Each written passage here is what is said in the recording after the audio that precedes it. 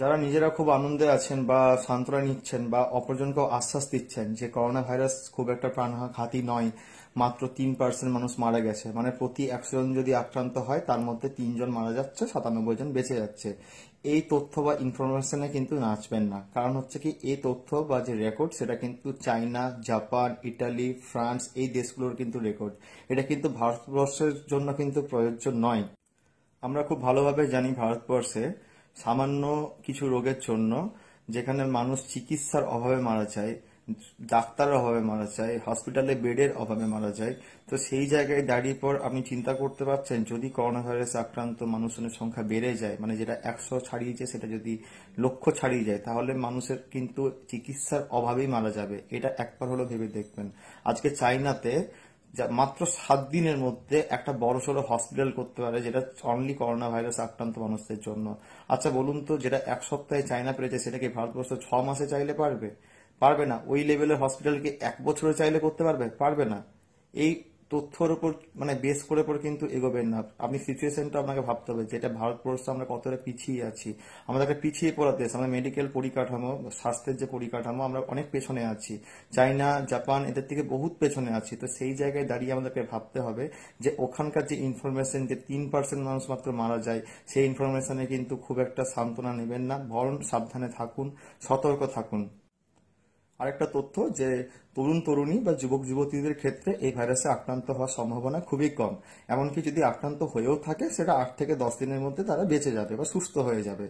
যেমন সামান্য জ্বর সর্দি বা হলে যেরকম হয় আর কি। সেই মানে হিসেবে আপনি হয়তো ভাবছেন যে আমি তো এখন তরুণ আছি বা তরুণী যুবক, যুবতী আছি, তো আমি এখন রাস্তাঘাটে আরামসে বেরোতে পারি। কারণ আমি যদি করোনা ভাইরাসে আক্রান্ত হয়েও থাকি, আমি আরামসে রিকভারি করে যাব, আমি সুস্থ হয়ে যাব।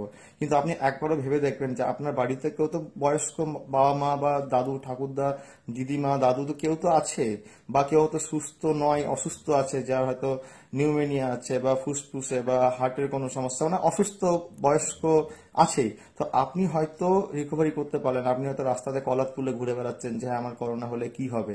কিন্তু আপনি ভেবে দেখবেন যে আপনার আপনি যদি আক্রান্ত হন সেই করোনা ভাইরাসে আপনার বাড়িতে কিন্তু আপনার বাবা মা তাদেরও কিন্তু বয়স্ক মানুষ যারা আছে তারাও কিন্তু আক্রান্ত হবে। আপনি হয়তো বেঁচে যাবেন কিন্তু ওনারা কি বাঁচতে পারবে? এরপর আসি কিছু দায়িত্বজ্ঞানহীন মানুষের কথাতে।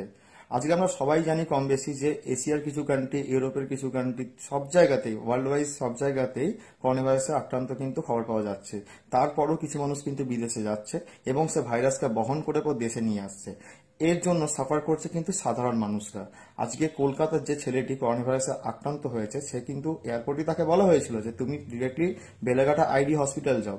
কিন্তু সে যায়নি। সে বিভিন্ন মলে ঘুরে বেরিয়েছে তার মাঝখানে অনেক জায়গা ঘুরেছে, তারপর সে বেলেঘাটা আইডিতে গেছে। মানে বুঝতে পারছেন যে, ওই ছেলেটি নিজে ভাইরাসে আক্রান্ত হয়েছে, সাথে কিন্তু হয়তো এটা সম্ভাবনা বলছি। হয়তো কলকাতার প্রচুর মানুষকে ইনডিরেক্টলি হোক ডিরেক্টলি হোক যে ভাইরাসে আক্রান্ত করেছে অলরেডি করেছে, এটাই সত্যি, এটাই ফ্যাক্ট যেখানে বিশেষজ্ঞরা এটা আশা করছে। যে আজকে আমরা যেটা একদিনে আমরা যে খবরটা পেয়েছি যে একজন মাত্র আক্রান্ত হয়েছেন, হয়তো সাত দিন পর সংখ্যাটা একশো জনও হতে পারে যেটা কলকাতাতে। আপনি আমি কেউই কিন্তু সেফ নই। এই কথাটা হয়তো আপনারা অনেকে শুনেছেন যে চায়নাতে একজন বৃদ্ধ করোনা ভাইরাসে আক্রান্ত হওয়া সাতাশ দিন পর সে জানতে পেরেছিল যে সে করোনা ভাইরাসে আক্রান্ত। মানে সে সাতাশ দিন পর তার শরীরে লক্ষণ দেখা গেছে বা সিমটম দেখা গেছে। বুঝতে পারছেন যে আজকে আমাদের বাজারের ঘাটে, রাস্তাঘাটে প্রচুর মানুষ আছে যারা হয়তো করোনা ভাইরাসে আক্রান্ত কিন্তু তারা জানতে পারছে না, এখন জানেই না, তারা কিন্তু এর সাথে মিশছে, ওর সাথে মিশছে। মানে ইনডিরেক্টলি তারা অজান্তেই করোনা ভাইরাসটা নিজের শরীরে বহন করছে, সাথে কিন্তু ছড়াচ্ছে। তাই আপনি সাবধানে থাকুন। হয়তো আপনি যদি নিজে আক্রান্ত হয়েছেন, অজান্তে আপনি নিজেও জানেন না। সেই জন্য বলছি, আপনি নিজেও সাবধানে রাখুন মানুষজনকে। অকারণে বেরোবেন না বেশি। রাস্তাঘাটে জনকলা হলে বেশি মিশবেন না। কারণ এই মুহূর্তে আমাদেরকে একটু সাবধানতা অবলম্বন করতেই হবে। ভাইরাস জনিত রোগগুলো কিন্তু অঙ্কের সে গুণোত্তর প্রগতির মতো করে বাড়তে থাকে। যেমন দুই থেকে চার চার থেকে ষোলো ষোলো থেকে চৌষট্টি। আপনি হয়তো এই তথ্যটা জানেন যে ইরান বা ইটালি বা চায়নাতে প্রথম সপ্তাহে যতজন আক্রান্ত হয়েছিল, তার পরের সপ্তাহে কিন্তু কয়েক হাজার গুণ বেড়ে গিয়েছিল। আজকে কিন্তু আমাদের ভারতবর্ষে একশো জন আক্রান্ত মানে এটা নয় যে পরের সপ্তাহে এই সংখ্যাটা এটাই থাকবে। তারা ইনডিরেক্টলি ভাবে প্রচুর জায়গায় ঘুরেছে, বেরিয়েছে, যেখানে প্রচুর মানুষের সঙ্গে মিশেছে। হয়তো পরের সপ্তাহে বা তারপরের সপ্তাহে সংখ্যাটা কিন্তু প্রচুর বেড়ে যাবে। আপনি এখনই তৈরি থাকুন। সতর্ক থাকুন। এখন যদি আমরা নিজেরা সতর্ক না হই, আমরা যদি নিজেদেরকে কন্ট্রোল করতে না পারি, তাহলে কিন্তু দু সপ্তাহ পর হিসেবটা কিন্তু অনেক পাল্টে যাবে। তখন কিন্তু আমরা প্রশাসনকে দোষ দিলেও লাভ নেই। প্রশাসন বা সরকারের হাতেও থাকবে না সেই ক্ষমতাটা। কারণ আমাদের, আমরা যে দেশ, ভারতবর্ষ, যেখানে প্রচুর জনঘনত্ব, প্রচুর মানুষ, সেই হারে কিন্তু স্বাস্থ্যের পরিকাঠামো নেই। আমরা কিন্তু তখন কিন্তু নিজেরা বাঁচতে পারব না। আর এমনকি সব থেকে যেটা বলার বিষয় হচ্ছে কি, চায়না, জাপান, ইটালি এদের সঙ্গে তুলনা করবেন না। ওখানকার যে মানে মানুষ অনুপাতে যে হারে স্বাস্থ্যের পরিকাঠামো, সেটা কিন্তু ভারতবর্ষে নেই। এটা আপনি ভালো করে জানেন, আমিও জানি সেটা। সেই জায়গা থেকে যদি, যদিও আজকে বয়স্ক কিছু অল্প বয়সী মানুষ বা বয়স্ক মানুষরা একটু নর্মাল ট্রিটমেন্টের জন্য যদি করোনা ভাইরাস থেকে বাঁচতে পারে বা বেঁচে যেতে পারে, কিন্তু সেই ক্ষেত্রে আমাদের দেশে যদি সেই হারে কিন্তু যদি বেড়ে যায় বা কয়েক লক্ষাধিক যদি মানুষ যদি করোনা ভাইরাসে আক্রান্ত হয়ে যায়, তাহলে কিন্তু বিনা চিকিৎসাতে অনেক মানুষ মারা যাবে। কিন্তু সেক্ষেত্রে সরকারকে দোষ দিয়েও কোনো লাভ হবে না। তো এখন থেকে তৈরি থাকুন, নিজেকে সতর্ক রাখুন নিজেকে কন্ট্রোল করুন, রাস্তাঘাটে কম বেরোন, খুব প্রয়োজন না হলে বেরোবেন না। এটা আর একটা সব থেকে যা বলার বিষয় হচ্ছে শুধু শুধু পেনিকে বা আতঙ্কে ভুগবেন না, কিন্তু যে সতর্কতা অবলম্বন করতে হবে, সেই সতর্কতাটা অবলম্বন করুন। বিভিন্ন জায়গা থেকে তথ্য বা ইনফরমেশন নিয়ে ভিডিওটি করা।